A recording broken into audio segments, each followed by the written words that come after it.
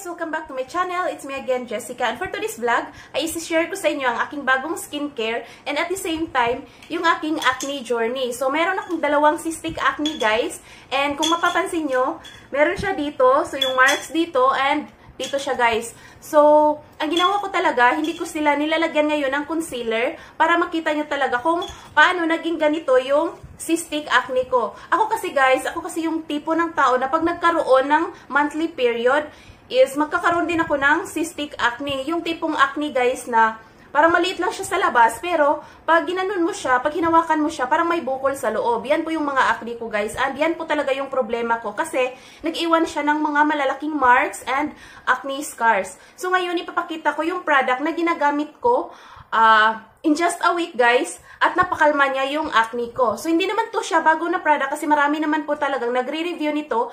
Kaya, na, kaya naisipan ko din siyang itry and bongga talaga, guys. Maganda siya para sa akin.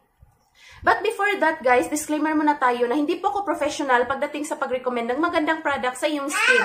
Ang ipapakita kong video sa inyo ngayon ay based lang po siya sa aking experience habang ginagamit ang product na ito. Hindi lahat ng product na hiyang sa skin ko, hiyang din po sa skin nyo. Magkaiba tayo ng skin type guys. So, ito yung mga ginagamit kong product guys. Lux Organic, si Lux Organics, Sika Rescue, Calming Cleanser, and Lux Organics Sika Rescue Calming Toner. So, meron siyang Centella asiatica, left, wat left, leaf, left water 35% and Madicasoside. So, yan po yung content ng dalawang product na ito. Meron din po silang uh, soothing gel, meron silang cream, and at the same time, meron silang uh, serum. Kaya lang, ayun, gipit sa budget, kaya ito lang dalawa yung in-order ko. Nabili ko po pala itong, uh, itong Sika Rescue Calming Cleanser. Nabili ko siya ng 289 pesos. And, meron na po siyang 150 grams ng product. And itong si Sika Rescue Calming Toner, nabili ko siya ng 349 pesos. And nabili ko pala silang, silang dalawa guys sa Watson's online. Yan, ganito siya kalaki guys. And itong si cleanser, ganito siya kalaki. So, malaki siya. And, ano nga bang meron sa mga content nila? Itong Centella asiatica, left water, huh? left leaf water, and Madicasoside. So, since pareho lang yung content nila, guys, so, uh, isi-share ko sa inyo kung ano nga bang meron kay Centella asiatica. Centella asiatica has a wand healing properties and abilities to soothe inflammation, calm redness, and repair skin barrier. It prevents scars and marks from forming. But if a scar or mark does form, it aids in erasing that annoying spot left behind by acne. It also brightens and hydrates skin. Since Centella asiatica has the ability to repair skin barrier, so syempre healthy na yung skin barrier natin, meaning mapapanatili na niya yung moisture and malalabanan niya yung free radicals sa environment na minsan nagiging dahilan ba't ma-irritate at magka-pimple tayo. It also prevents sagging skin too. So, hindi sagging na banana guys. Sagging na pagka, parang pagkalawlaw ng skin. So, dahil meron siyang vitamin C, A, B1 and B2, niacin, carotene, and antioxidants. Lahat ng yan ay nag-produce ng collagen kaya naiwasan yung pagkasag ng skin habang ginagamit ang product na ito. So, itong si Sika Rescue Calming Cleanser, guys, meron siyang 150 ml, 150 grams ng product and it is made in Korea, alcohol-free and paraben-free. So, yung uh, product niya, guys, ganito yung itsura. Ayan. Ano lang siya? Ganyan lang. Tapos, ganyan siya, guys. So, pag ginaganyan siya, nagiging foamy siya and And yung color niya, guys, parang may pagka-greenish yung color niya. Yung amoy niya is parang eucalyptus. Eucalyptus na parang mint na, yung ganun yung parang may mga dahon na scent. Pero, mawawala naman po yung amoy niya, guys, pag, pag naghilamos na. So, hindi, hindi matapang yung amoy. Tamang-tama lang yung amoy niya, guys, na parang refreshing sa pakiramdam.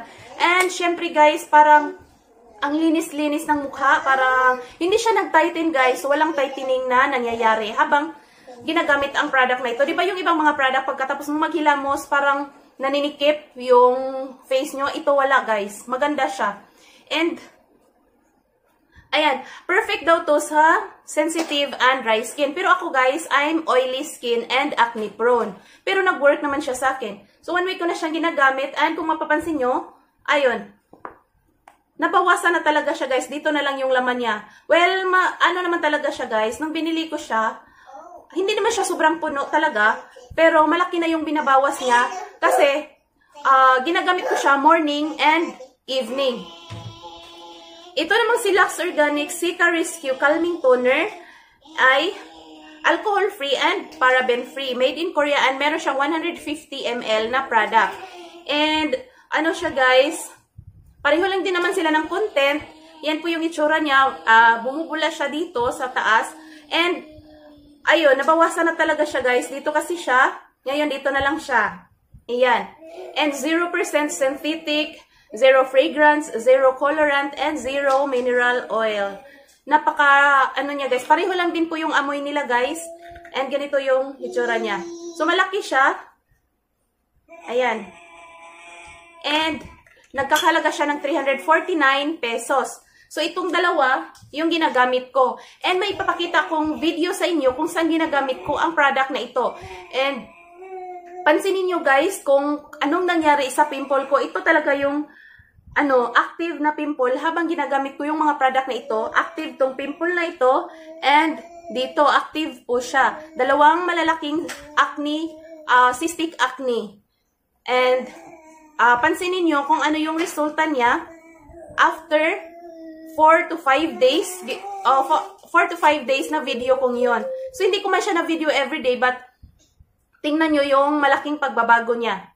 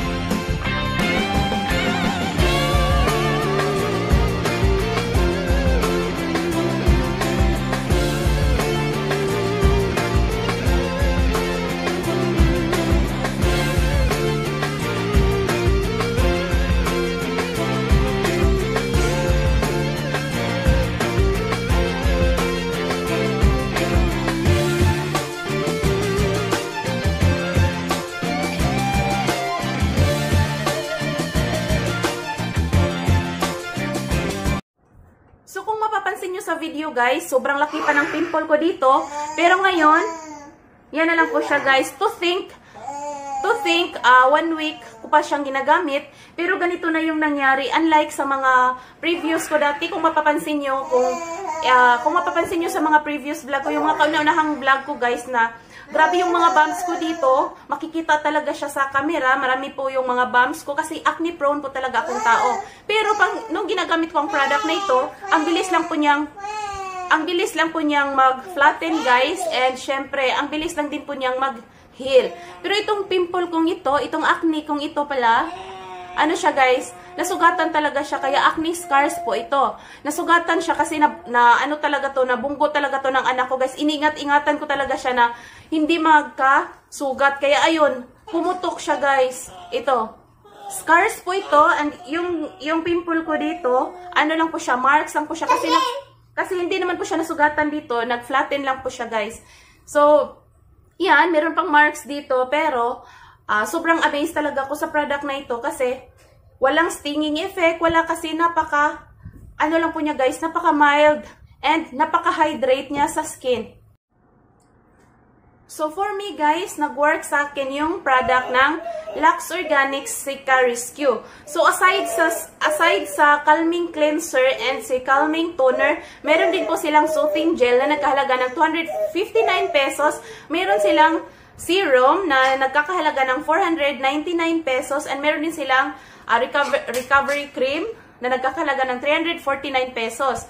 Kaya lang, ito lang muna yung binili ko guys para itry. Kasi hindi naman, ah, kasi pag bibilhin ko yung lahat, tapos hindi yung skin ko, masasayang yung product. Pero, ayun na nga, ah, for me, nag-work siya sa skin ko, kahit minimix ko siya sa ibang product. So, walang, walang nangyaring mga purging, walang nangyaring mga stinging. So, sa morning, guys, ang ginagamit ko is itong Belo Tinted Sunscreen. Pagkatapos kong mag-toner, ginagamit ko itong Belo Tinted Sunscreen. And sa gabi naman, uh, pagkatapos kong mag-toner sa gabi, gumagamit din po ako ng Apothic Niacinamide, which is, nagawan ko na to ng review dati. Matagal ko na din tong ginagamit. So, sinasabay ko siya. Sinasabay ko siya dito kay Lux Organic. So far, wala nangyaring purging, guys. So, parang, si Sika Rescue, guys, para siyang, ano, para siyang flexible na flexible talaga na pwede mo siyang isabay sa kahit anong product. Di ba may mga product na pag sinasabay mo ay ay may matrigger yung mga ganon, yung may mangyaring ganon sa mga skin nyo. Pero itong si Sika Rescue guys, sinabay ko siya sa ibang product. So far, okay yung result niya sa skin ko. At kung mapapansin nyo, ayun, napakaganda ng skin ko guys. So hindi pa ako naglagay ng hindi pa ako naglagay ng concealer guys para makita nyo talaga yung condition ng skin ko. So ito lang po talaga yung marks dito and yung scars dito, yung dalawa guys. Yan. So yan lang po guys, and ito yung condition ng skin ko. Naglagay lang po ako ng tinted sunscreen kanina and uh, naglagay ako ng pulbo. So ayan, ito lang yung ginagamit ko kasi paborito ko din to. Pero so far, maganda siya guys. And ayun, hopefully, mabili ko yung lahat ng Sika Rescue line. O, ba diba? So maganda siya. And syempre, walang Walang tightening na nangyari, guys. Yung pitaka ko lang talaga yung nag-tighten, guys. Kaya ito lang dalawang product yung nabili ko kasi sobrang sikip. Sikip na talaga ng wallet, guys. Kasi, di ba, ano siya, medyo may kamahalan. So, hindi naman siya sobrang mahal. Pero, pero itong, kwan, itong si, si Cariscu Tuner, ayun na nga, 349. Pero, nung nakita ko siya sa personal, sulit naman talaga kasi malaki siya. So, matagal siyang makonsume. Mga 2 to 3 months siyang makonsume. And ito namang si Sika Rescue Calming Cleanser, malaki din po siya guys. Yan. And syempre, yung pea-size amount lang yung gagamitin mo everyday. So, malaking tipid din. Kaya, worth it lang po siya sa presyo niya. Kahit sumisikip yung pitaka ko. Ayan guys. So kung nagustuhan nyo ang video kong ito, please give me a thumbs up and please don't forget to subscribe and hit the notification bell para maging updated kayo sa susunod ko pang mga videos. Thank you for watching!